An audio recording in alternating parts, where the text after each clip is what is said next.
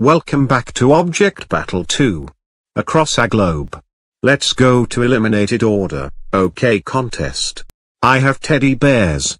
If you don't get one, you're eliminated. Evil Lower B is eliminated got 4 votes each. The next contest is basketball. Go. I'm doing cheating on basketball. Hey, you're not allowed cheating on basketball. That's it. Your team lose thanks to you.